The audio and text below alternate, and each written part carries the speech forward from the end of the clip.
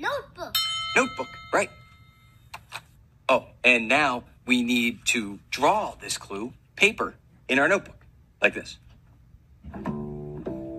First a square for one piece, then another square behind it, and another. There, paper.